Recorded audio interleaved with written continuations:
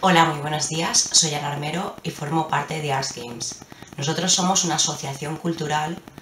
que nos dedicamos a la investigación y la experimentación en torno a los videojuegos y las nuevas tecnologías. Abordamos las, las creaciones videolúdicas desde una perspectiva multidisciplinar, enlazando el arte, la cultura, la política, la pedagogía, la filosofía.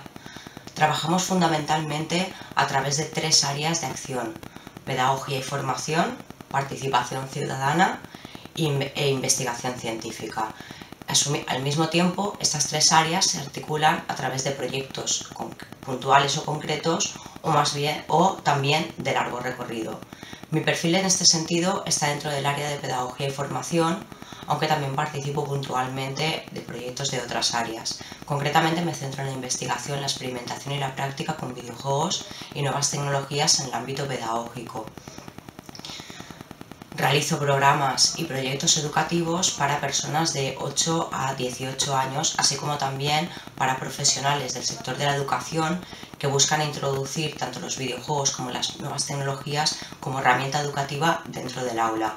en la ponencia de hoy voy a hablar de alfabetización digital crítica y lo voy a hacer no solo desde un punto de vista teórico, no solo desde mi formación teórica, sino fundamentalmente desde un punto de vista práctico a través de los cinco años que llevo trabajando en la asociación. A la hora de abordar este tema, lo primero que debemos preguntarnos es ¿qué entendemos cuando hablamos de alfabetización digital crítica e inclusiva? Cuando nos referimos a ella, estamos hablando concretamente, y aquí cito a la compañera Euridice Cabañes y a María Rubio, de promover una alfabetización que dé lugar a personas autónomas capaces de transformar, construir nuevos modelos sociales más igualitarios y libres, es decir, que dota a los usuarios de las nuevas tecnologías de la comunicación y la información, así como también de los videojuegos, de la capacidad de cuestionar y cuestionarse al mismo tiempo que entender, analizar, apropiarse, crear sus propias tecnologías y herramientas, colaborar con otras personas y tejer redes para la mejora de su entorno, de su espacio y de su ciberespacio.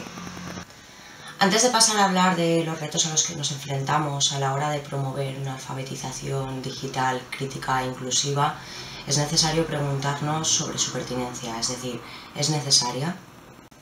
La respuesta desde nuestro punto de vista es sí. Es obvio que en las últimas dos décadas se, se, han introducido los videojuegos y las nuevas tecnologías de forma generalizada en nuestra cotidianidad. Su uso y abuso ha, puesto de manifiesto una serie de carencias y problemáticas relacionadas con esta extensión a las que es necesario responder principal y fundamentalmente desde la educación que nosotros consideramos que es la base incidiendo especialmente en los sectores más afectados por las brechas digitales, es decir, aquellas personas que todavía no tienen acceso a las mismas y que por tanto se encuentran en una situación de exclusión, así como también mujeres y niñas que a pesar de tener acceso a las mismas presentan marcadas diferencias en cuanto a los usos que hacen de estas tecnologías. A pesar de los esfuerzos que se han hecho en mayor o menor medida por parte de las instituciones y gobiernos tanto nacionales como provinciales como locales, por variar las diferentes brechas digitales, todavía es obvio que nos queda muchísimo trabajo por hacer. Si bien está claro que se ha hecho y se continúa haciendo un esfuerzo notable por parte de las instituciones educativas por introducir las nuevas tecnologías de la información y la comunicación dentro de los centros educativos, esta introducción, ha presentado una serie de limitaciones que hace que este esfuerzo muchas veces se quede prácticamente en nada. Dado que no se está promoviendo realmente una alfabetización digital crítica e inclusiva, sino que lo que se está haciendo es simplemente promover una alfabetización digital este esfuerzo se, vuelve muchas veces estéril y en, ocasiones incluso contraproducente para con la meta que se, pretende alcanzar.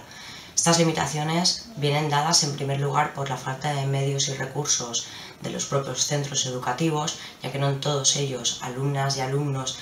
tienen pueden, o pueden acceder de una forma sencilla a estas herramientas, así como también como por la falta de una verdadera intención de introducir un sentido crítico dentro de la escuela.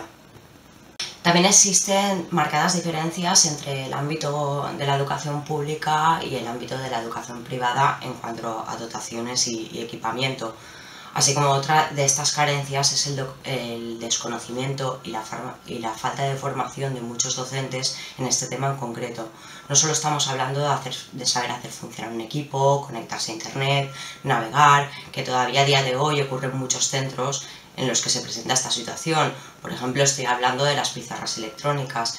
Se gastaron cantidades ingentes de dinero en poner en cada aula de este país una pizarra electrónica y sin embargo no se dio la formación suficiente a los docentes para que realmente supieran explorar todas las capacidades que esta herramienta permitía. Por tanto, no solo basta con la introducción o el manejo básico, sino realmente comprender y adaptar la metodología de trabajo en el aula para que el uso de estas, de estas tecnologías sea pertinente y dé lugar a lo que llamamos un aprendizaje significativo. Una alfabetización digital crítica e inclusiva, como decíamos, no es saber manejarse en lo que podríamos llamar el currículum de Microsoft Office, el Word, el Excel, el PowerPoint,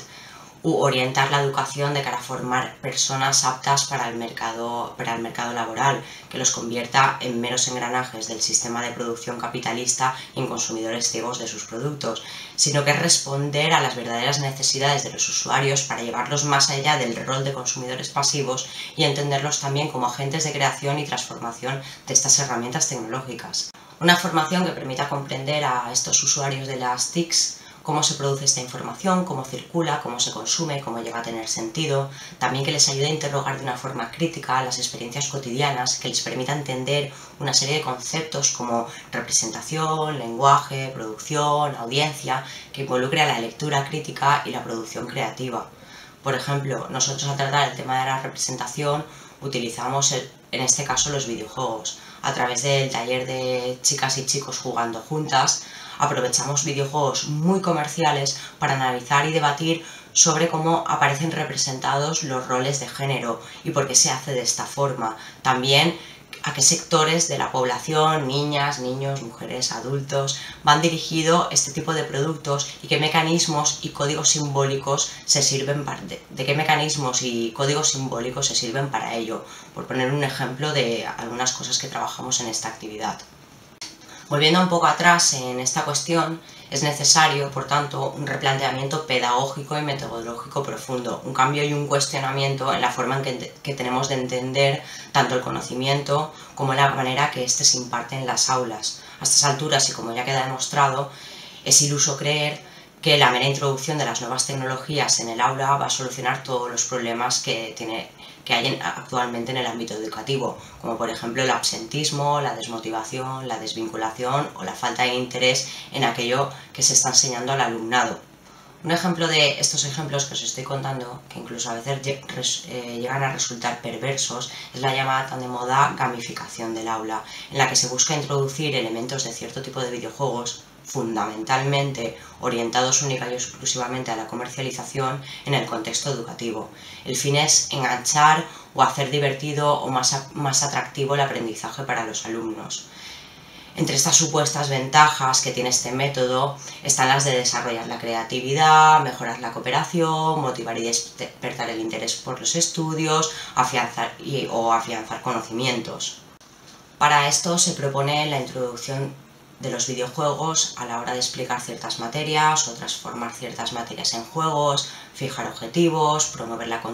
la competición como mecanismo de motivación, establecer niveles de dificultad y, como no, establecer un sistema de recompensas y logros. Desde un punto de vista crítico, aquí nos están replanteando las bases de la educación. No se está cuestionando en ningún momento la pertinencia de enseñar a través de asignaturas que se constituyen como compartimentos estancos de saber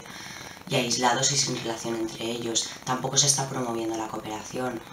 aunque tengamos la falsa ilusión de que los compañeros deben colaborar con sus otros compañeros de grupo para conseguir ciertos logros o objetivos, no dejan de competir con el resto de compañeros de clase. Tampoco se está promoviendo la creatividad, no se está dejando experimentar libremente a alumnas y alumnos sin importar el resultado, considerando que lo realmente importante es el camino que se recorre y no la meta, sin importar si se llega a ella o no y por qué vía.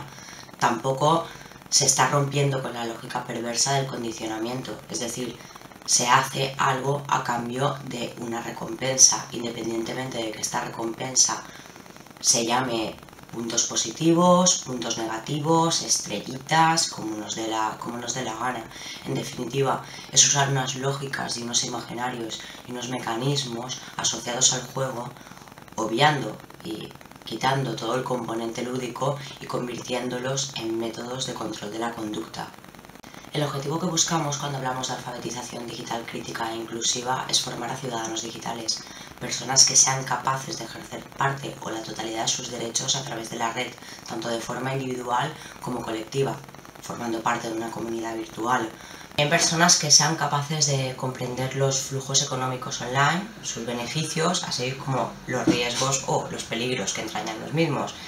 por ejemplo, a la hora de realizar compras o cualquier otra transacción económica a través de la red, que sean capaces de entender y manejarse con las herramientas de comunicación digitales y tener conocimiento de cómo utilizar los diferentes dispositivos, saber cómo comportarse a la hora de utilizar la comunicación digital. También conocer la legislación aplicada a este ámbito, es decir, y entre otras cosas, qué derechos y obligaciones tenemos como usuarios con la información personal que publicamos o que publican otras personas a, nuestro alrededor. Desarrollar mecanismos que nos ayuden a controlar y evitar la adicción a los medios digitales o saber qué medidas y precauciones debemos tomar a la hora de movernos por la red con total tranquilidad. También es necesario conocer el lenguaje videolúdico y sus códigos, es decir, más allá de la dimensión estrictamente lúdica que conocemos acerca de los videojuegos, estos también hay que entenderlos como un, canal por el que transmitimos discursos, ideas, conceptos, valores y emociones. Por tanto, y como hacemos a través de nuestras propuestas educativas, los videojuegos pueden ser utilizados como herramientas a través de las que conocerse a sí mismos, conocer al otro, empatizar, comprender el mundo que nos rodea, como herramientas de expresión para transformar la realidad que nos envuelve. Esto es entender también los videojuegos como espacios en los que pueden desarrollarse procesos de aprendizaje y de socialización. Por tanto, y a modo de conclusión, para ir cerrando ya esta intervención, si el objetivo es alcanzar una alfabetización digital crítica, que podamos llamar crítica e inclusiva, que nos lleve a la formación de lo que hemos llamado anteriormente la ciudadanía digital, esta introducción de las TIC como herramienta educativa dentro del aula tiene que venir acompañada necesariamente de una reformulación general de los, de los planteamientos pedagógicos y de las metodologías para adaptarlas a esta nueva realidad, así como también de la figura del docente que en este sentido debe dar un paso atrás haciendo protagonista y responsable de su propio proceso educativo a las alumnas y a los alumnos, garantizando un entorno seguro en el que estos puedan expresarse y experimentar con total libertad, además de asumir para sí mismo la necesidad de embarcarse en un proceso constante de formación, una alfabetización digital crítica e inclusiva, significativa y pertinente que nos capacite para ser críticos con la información, que nos proporcione herramientas de negociación y apropiación de, las tecnologías y que conlleve necesariamente un cuestionamiento de lo dado y nos permita transformar la realidad y pasar de meros consumidores a administradores.